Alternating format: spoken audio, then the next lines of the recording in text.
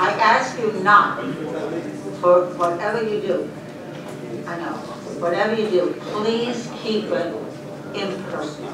I, we do not need to be personal up here, all right, because it's not fair. It's not fair, and it's not, really, really is not professional on our part. No more digs at anybody whose wife is this and whatever's that.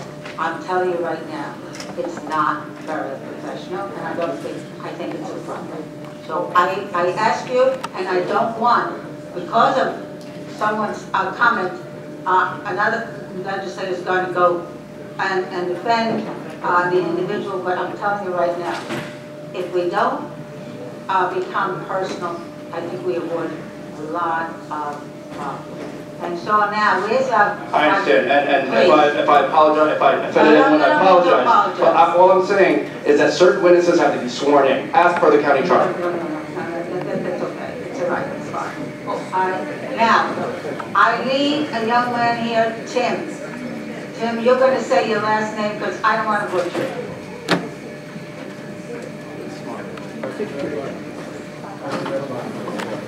Thank you. It's uh, Tim LaChapelle. Oh, uh, I said it right, Gossipel. Yeah. Okay, all right. Good job. Go ahead, talk to us, Um, my name is Tim LaChapelle. I'm the legislative liaison for the Long Island Board of Realtors. Um, today, I speak, thank you, um, presiding officer Gonsalves and all the members of the legislature for allowing me to speak. Um, I speak today with a proxy of the Long Island Board of Realtors, the Long Island Builders Institute, the LIA, Long Island Association, the New York State Land Title Association, the Commercial Industrial Broker Society of Long Island, and the Association for a Better Long Island. We call on the Nassau County Legislature to reject the portion of the county executive's budget that raises the mor- mortgage recording fee from $300 to $350 per block. The 2016 budget increased the tax map verification by 200%, $75 to $225. The per block recording fee was increased by another 100%. It went from $150 to $300. These fees were exorbitant and they were passed so quickly that homeowners, brokers, and land title companies didn't have the time to adjust their practices to these fees. And thanks to the lobbying efforts of the New York State Land Title Association, um, the Nassau County Legislature got our message and delayed the fee hikes until January. We appreciate that the county responded to the initial crisis created by the increase in fees. Um, however, it's clear that after the most recent executive budget proposal that um, they're missing the big picture. We fear that another increase, one year after the largest one in the history of the county, sets a dangerous precedent that can involve annual increases levied on the real estate industry. Furthermore, we don't believe that the county has taken enough time to observe and analyze the effects of the initial fee increases in real estate and other sectors of our economy. Targeting the real estate industry for revenue is short-sighted because it fails to recognize the positive economic impact that a home sale has on the economy. The National Association of Realtors estimates that every home sale produces about $69,000 in economic stimulation uh, to a locality. This includes expenditures on moving, uh, truck services, consumer items, um, eating out at dinner, and I believe that this value is actually much higher when you take account, into account the high cost of living on Long Island. The proponents of this fee increase fail to realize that these increases negatively affect more than just the real estate market. Increasing home purchasing costs will create a drag on local economies and further will negatively impact sales tax revenue. The increased fees neg- negatively affect all aspects of the real estate market, but we'd like to draw special attention to affordable housing. Long Island has a high demand for both available and affordable housing. Young people working on Long Island and in the city, retired citizens looking to downsize, and low-income families all make up this need. Unfortunately, regulations that send closing costs soaring and creates another financial obstacle for the people who wish to access this housing. As advocates for the public, we, the aforementioned industry groups, call on the leadership in both counties to consider the short and long-term effects of these fees. Um, I'd like to point out um, that these fees, the regressive nature of these fees, um, you know, there's large commercial properties that only have one lot, and then there's also, you know, a home, a one-family home that may be on three lots. And the person on that one home has to pay an extremely large fee if he wants to refinance or if somebody wants to purchase that house. Um, but, you know, a, a facility like Roosevelt Field, which, which has... Sir, your time has expired. Thank you. Um, just a place like Roosevelt Field would end up having to pay only on one lot. Um, so I think we could maybe relook at these, how these fees are, um, charged on commercial groups and on homeowners, and possibly, you know, improve the nature of the fees so that it's more equitable. Thank you. Thank you so much, Ken. All right, okay. All right, now, the next, next department is the Office of Minority Affairs, I believe. And I think Ms. Brazley's here. And, okay. Okay.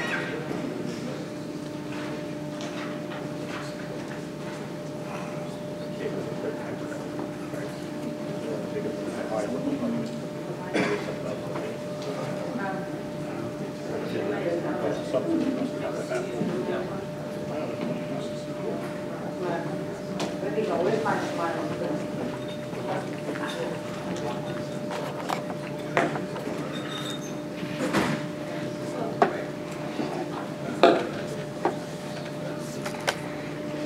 Okay. Welcome. Thank you. And uh, I don't know if you have a uh, brief statement you'd like to make. And I, I know there's something, a a technical error that has to be corrected. Am I correct? That's correct. Okay, and, uh, which is, of course, uh, the fact that uh, uh, the position of executive director was not properly uh, included in the, in the budget, all right? That's correct. Okay, you could, you could start with that, okay? Okay, well, first I'd like to say good evening to everyone, and I'd like to thank you, presiding officer, as well as the minority leader and the legislative body for the opportunity. Um, My name is Shelly Brazley. I've been serving as acting executive director of the Office of Minority Affairs since May 27. Um, I, from what I understand, you guys have some questions for me. Our budget, um, well, we're gonna do the best we can to work with the budget that we have for our department. Um, in looking the first couple of months at our department and looking at the charter, uh, we've made some changes as far as assignments and staff is concerned. We've decided that it makes more sense to look at capacity building for our MWBEs um, and outreach so that the MWBEs are in a position to bid for the contracts. We've also looked at things like um, our our, um, MWBE goals for the Bay Park projects are well over 20%. Uh, The DBE goals, we've exceeded those goals over the last two, three years. And uh, we no longer have um, project we no, we no longer have mandated goals. So um, we've exceeded our goals, so now what we can do is race neutral, which means that we send out the information and uh, the DBE community has been uh, responding and we are exceeding our goals without man, putting goals on the contracts. So we're doing very well in our office. We could do a lot more with what the charter mandates we should do. Um, And I'd like to know if you guys have questions for me.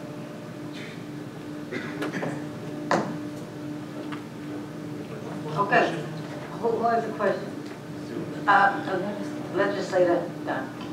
Yeah, just real quick, the, uh, you say, you did mention that the uh, women-owned businesses, you make sure that they get uh, uh, their fair share of the contracts, right? Their percentage, Minority and women-owned businesses now service disabled veterans. and that's, okay, that part I didn't hear about the veterans, because we did tag them on mid-year, that veteran, disabled veterans would be, uh, so you already included that. okay, I I didn't hear that part. And the other thing was, that Madam Chair, I think asked about the, um, the position in the budget of executive director, is that being addressed, that's being, That, that has, that was addressed yesterday. I think they caught the mistake yesterday and it was addressed. that's all the question, I thank you so much. You, question, you said that you have exceeded your goals regarding MWB.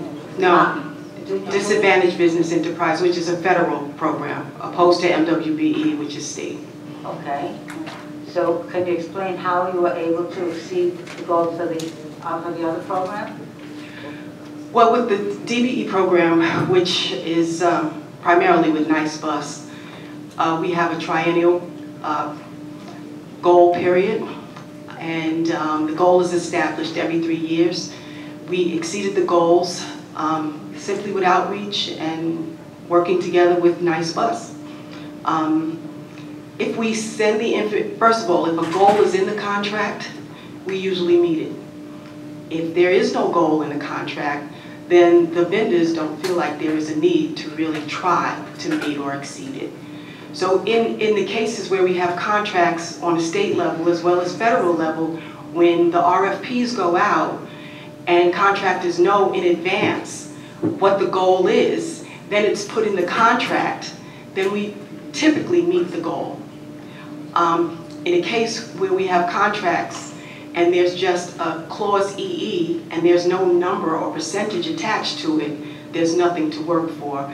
And, you know, so typically, when we look at our numbers, they're for state and federal contracts, not necessarily contracts that are funded with county money. Uh, Legislator Good evening. That- I'm over here. Thank you very much. I know it's late and you've been here all day. But um, I I just want to maybe get some clarification. When you talk about the goal that you have, is that the goal like that would be, like when you say it would be stated in the, when you send out an RFP, you know, for contracts, I guess? Is it the goal that you're looking, are you explicitly asking for um, a percentage of women or minority-owned businesses? I mean, uh, to respond? Yeah, typically, when an RFP is sent out, Right. it already establishes what the goal is. If there is, if it's, if it's twenty percent goal, it could be ten percent for women, ten percent for minorities. Okay, Um, the contract will specify. yeah. So, so that's what I mean. And then once the RFP has been answered and you select a vendor, then they have to send my office a utilization plan. Then we look at the utilization plan and how they are going to use the minority or women-owned Owned businesses. But now, you also though, like when you send the RFPs out, I mean, because I know one of the keys would be that uh, vendors or businesses, contractors, or whatever, would be registered with the county. So that if an RFP is issued, they would be able to uh, be notified, you know, to go on that, like the county is issuing an RFP, like say to rebuild a bridge or something like that. So that all, anybody who's registered would know about this. And, I mean, you could still get a, a paper copy if you're not registered, but a lot of times if you're registered, you would almost automatically get notified that an RFP has been issued about something, and it's up to you to determine if you want to respond to it or not, correct?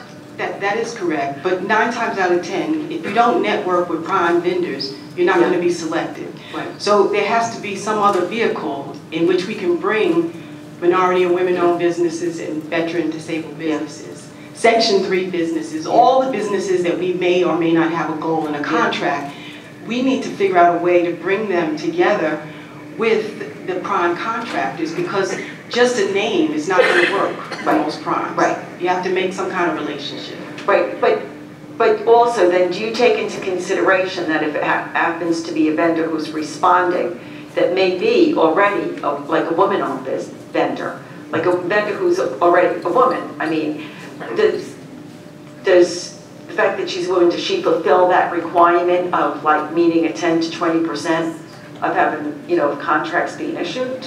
If a woman or minority-owned business Yeah. is selected as the prime, Yeah, then you have a hundred percent goal. It's a win-win, yeah. okay. All right, and then how do you, um, how is it that you reach out to, uh, the women and minority and the veteran-owned businesses? How, uh, you know, a lot of times, like you may find that these small little businesses, and they may not be aware that they need, say, to establish a relationship with a bigger company or a vendor who may be able to hire them, you know, to do a certain job, you know? How, do is there any way that, that you reach out to them, like the Office of Minority Affairs reaches out and lets them all know, or? Well, since, since I've started, um, like I said, capacity building and outreach has been our primary focus. And so what we will do is have, there, there, in some cases, um, they, they, they may have some financial issues, they, they may have, there's all kinds of issues that small businesses have.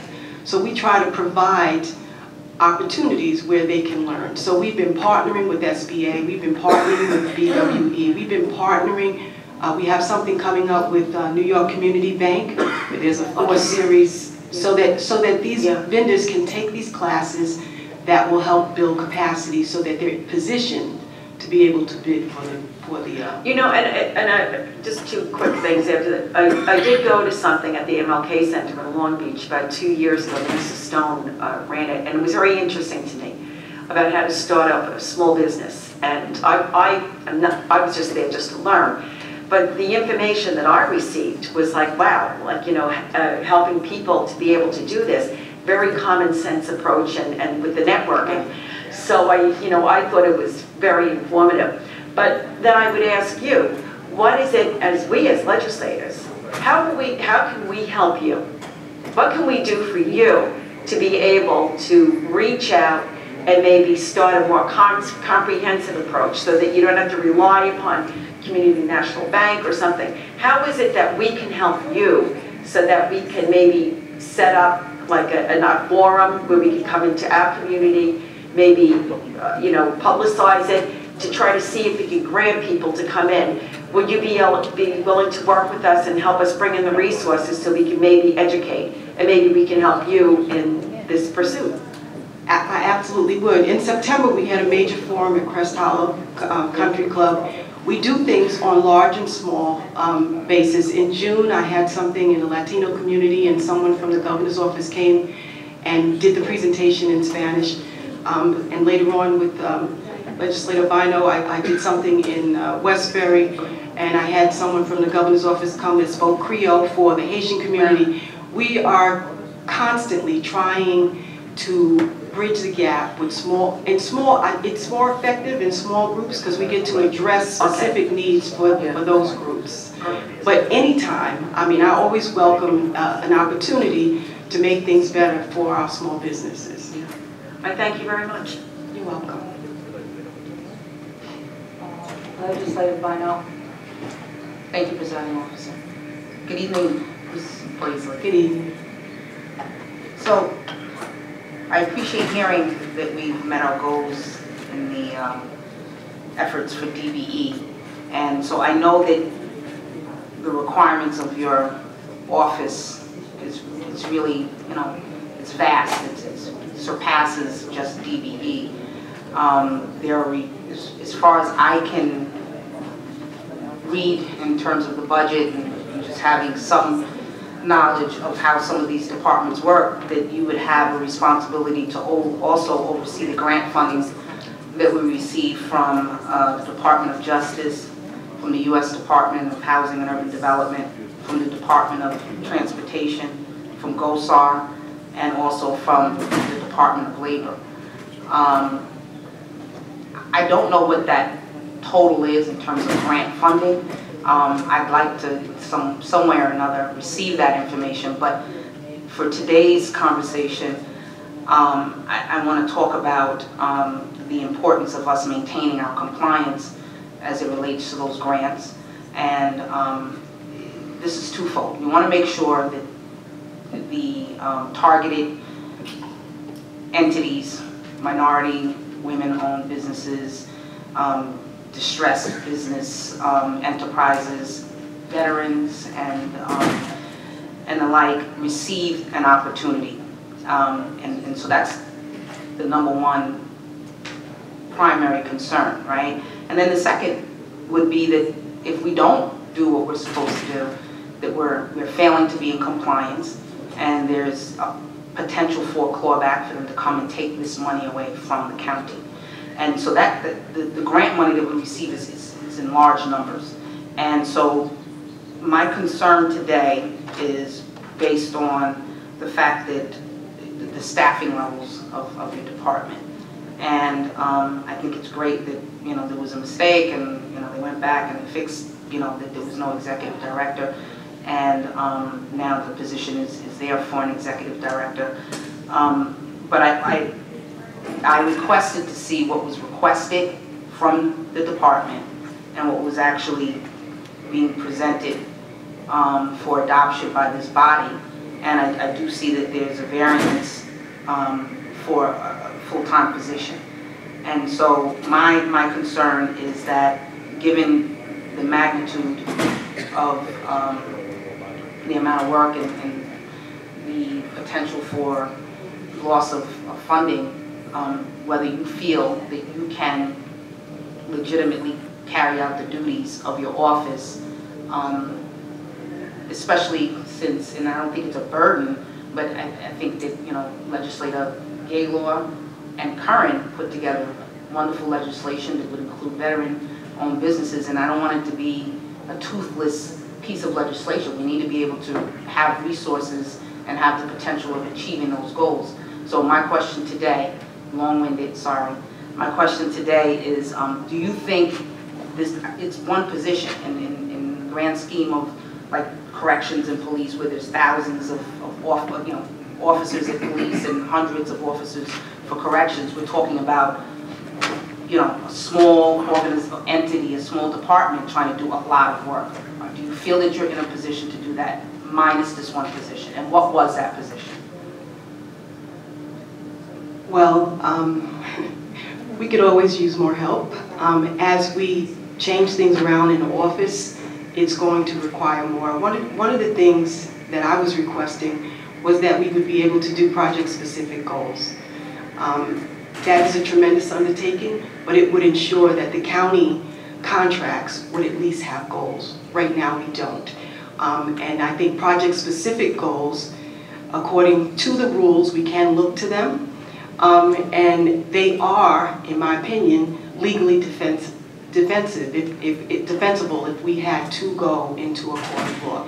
Now, it would mean that every contract that's over $100,000, before it was, it, it was in the RFP form, I would have to get all the specs from that um, particular bid and create a goal, if it was project specific. So what I would be looking at, if there were engineers involved, I would look at the universe of engineers and then the MWBE universe and come up with, so if it was plumbing, engineering, construction, whatever, whatever components were gonna be in that contract, I would have to look at them all and devise a goal based on the, the scope of work.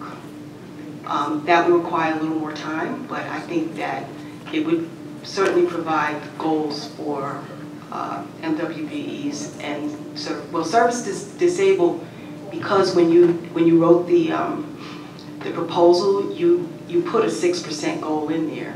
So then there really isn't any figuring out. But there are no goals on those contracts for MWBEs.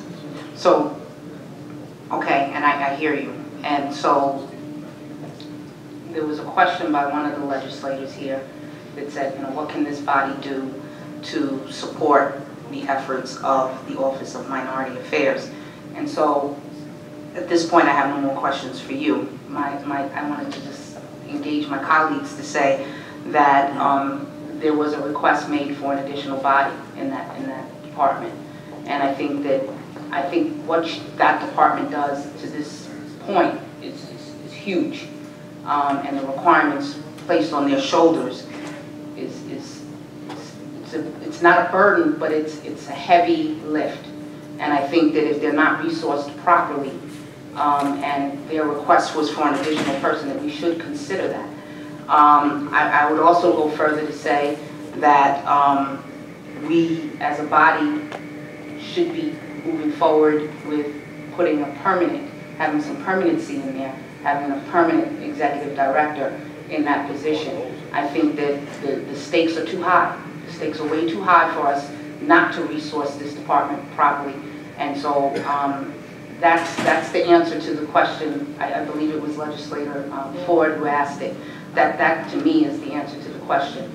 So, um, I would look forward to seeing this body, um, consider, um, the permanency of an executive director. And I'd like to see this body join me in having discussions with the, um, the executive branch of this county government about restoring that additional position that was requested by the head of the department. Thank you. Uh, Ms. Brazley, uh, I have a question. Yes. Do you, is there a job description for that, that uh, um, additional employee that you would like to see in the Office of Minority Affairs? What would that person to be uh, responsible for? I, I was a project director, so my position as project director was cut, and then the executive director was, um, Also, in other words, that person would be a project director? that's correct. And what would be the responsibilities of that project director? Just a few. Well, but what did you do? I, I, I did the, um, the goals, I did the utilization plans, I did cultural affairs, I did, um, the educational component. I, we did, I did everything that the office Okay, does. you did- you were multitask. Okay, so you're actually asking for a project director, correct? Yes or no? Yes. All right, that's all I really, uh, okay, legislator Curran, I had a lot to say today. Aye. So it's you and four others at the moment? Well, working in our office is me and two others. So it's you and two others, and are they full-time or part-time? They are full-time. They're full-time. So is there another person or two floating around in other departments? On our budget? Yeah, On your budget, yes, yes, specifically on your budget. Yes, They are. How many? two. So you have you and two who work in your office, and then there's two others who comes out of your budget, but they, they they don't report to you. That's correct. So did everybody hear that up here? Okay, and, and stop me if I said this incorrectly. Ms. Brazley is running the office, she's got two people full-time with her. There are two other people who are paid for out of her budget line, but they are in other departments and they don't report to her. So you don't have four people? She's got four on the budget, but two in the office, and two are tasked in, I don't know. Do you, do you happen to know, I don't, know. we're gonna be putting her on the spot, sorry. I don't want to, I don't want to put I don't wanna anybody on ask the spot. We'll find out. But it might be nice to know, maybe we could ask the administration where they are. Yes. Yeah. Because as there are charter mandated duties to this office, and not only is it less than perhaps is needed, the ones that are there, half of them aren't even there. I think that's a problem. But they're being paid by, But they come out of the budget of the Office of Minority Affairs. okay, uh, legislator Solages. Thank you very much, presenting officer. Also, my concern is that not just anyone fill the executive, executive director position, but the most qualified person fills that seat. Um, Article uh, 21, miscellaneous officers, Section 2012 of the county charter, county charter, uh, paragraph number three states that the Office of Minority Affairs shall have the following powers and duties. A, assist the various officers of the county government in improving the delivery of quality services such as social services. B, provide the county executive and the county legislature with the minority community impact assessments. Uh, C, provide, assess, an opportunity for minority participation in county contract and procurement programs. D, develop and improve the county women and minority business enterprise programs. E, produce and publish any research papers or studies as issues affecting the minority community. F, provide assistance in the implementation of affirmative action programs in county government. Uh, And G, uh, administer the county's affirmative action program. I mean, that, that's a very, you know, there's a lot of duties and powers of the office. And I'm concerned that, you know, with only one person and two people in addition supporting you and two other persons in another department, we fall short of the goal of this office. And so and as a result, we don't have true inclusion, we have the perception of, of inclusion. Are you concerned with the, with the, with the staffing of your office? Well, uh, yes, I am concerned. However, since I've been there, I've been writing corrective action measures on, and in some case, compliance corrective measures. Um, I have not, I mean, I've started at that top of that charter. I've not had an opportunity to address everything because there is a time uh, issue and, and a manpower issue. So we, yes, I'm concerned, and we are looking at doing what we can with what we have. I would hope that the administration provides you the sufficient resources you need in order to complete uh, the important tasks. Um, Another question, have you been actively working with the Director of Procurement and Compliance? Well, he, he recently was hired as well, so yes, we have been working, working together. Okay, please explain in detail what actions have been taken to improve minority participation. With the Director of Purchasing, Yes. Procurement. But I'm, well, I'm at procurement, I'm sorry.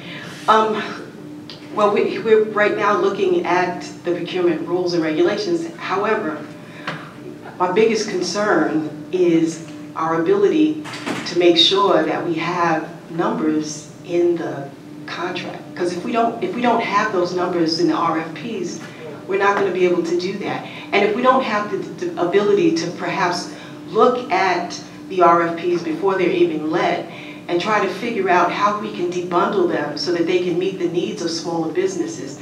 Some, some of the jobs are just too big for a small business, but we could probably look at some of them and debundle some of it so that we can provide opportunities for small businesses so that they can grow. And an example of that is Stony Brook, for instance, when they had, they were building a hospital, there was a painter. um, and he could not do a $2 million paint job, he just didn't have the capacity. What they did was they pulled out all the stairwells in the hospital, and they, they, they priced that out, and they had painters, small businesses bid on it. So now you, you win that, the part that you're doing is clearly separate from everything else. It helped to build capacity, it helped to build his portfolio, it showed that he was on a huge job, and now he's very successful and he's able to move forward. He was able to hire some other people. So there's some, there are some things that we can do, and I've already met with um, Sheila Shaw, and I, I, I've met with um, Mr. Cleary, and we have been discussing some of these things, and some of these things are what we want to do. Um, but we just have to position ourselves to be able to. Understood. Um, But I'm concerned that the lack of sufficient resources uh, provide just a perception. My last question is B. Uh, uh, Excuse me, my last question pertains to subsection B, paragraph 3 in the county charter, which states that the Office of Minority Affairs is a commission with the obligation and duty to provide the county executive and the county legislature with a minority community impact assessment study. When was the last time you provided such a study? Well, I've just been in this position since May 27th. When was the last time that your office, before you, submitted that assessment? I don't recall, since I've been there, it being um, pre- presented to you. Well, I encourage your office, please, to conduct uh, a minority community impact assessment. Thank you. Eric, are you sitting there for a reason? Okay, are you gonna be able to tell us why? There are five in the budget and only, it's only her and two others? Are you able to tell us that? Yes, I can. Okay. All right. So as was stated, there are two people who report directly to Ms. Brazley. The other two people report to the Deputy County Executive for Minority Affairs and Human Resources and Human So- and Human Sources. Um, that's Dr. Elliott. So so while they are they are paid out of the Minority Affairs budget, they are doing outreach work, whereas Ms. Brazley is focused more on the contracting and improving um, business opportunities for people. Now, Ms. Brazley, I said that she was project director before she became executive director. And that's the position she's trying to fill in, in the budget. Is there a possibility that that could be done? It was our feeling as we were looking at the overall budget, you know, we took a look at vacancies, some were eliminated, this one was. And essentially our position was until we actually get a disparity study done, you know, which, you know, we've come to the legislative for, for funding, but we couldn't get that funding. So we can't really work on the goals that are necessary. So it's kind of, to have people working on stuff that they can't work on, we felt that wasn't the best decision. I think after the disparity study is completed, we have more information on setting the proper goals, then we can relook at adding additional staff because they will actually have, no more projects to work on at that point. Can I ask a follow-up on that, Norma? Hold on, one at a time. I'd like to go to somebody who was not uh, speaking before legislators.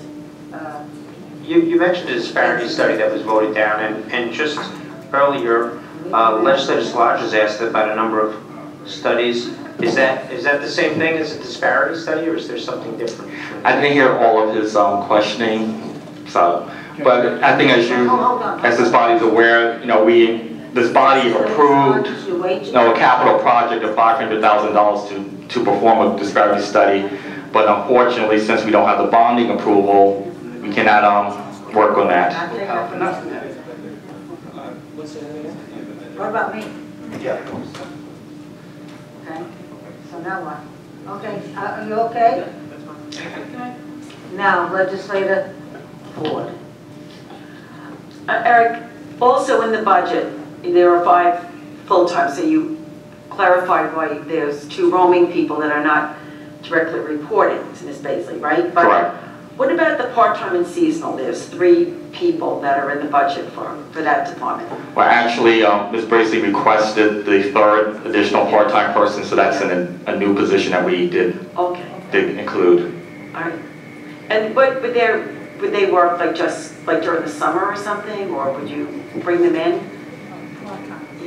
I, I, I would need them now. I, I'm gonna, I need them now and they'll work part-time in the office. Do you have any part-time workers now working with you, or is it just you and the two people right now? Right now, it's just the three of us.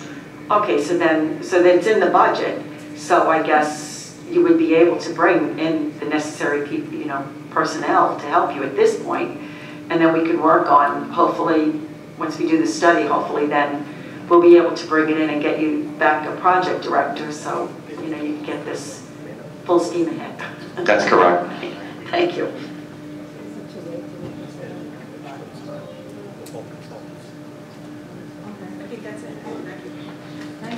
Thank you very much, Ms. Brazley. Thank you, Eric, Thank uh, you. for clarifying that. And I think we have a little work to do uh, to assist the Office of Minority Affairs, uh, but some of the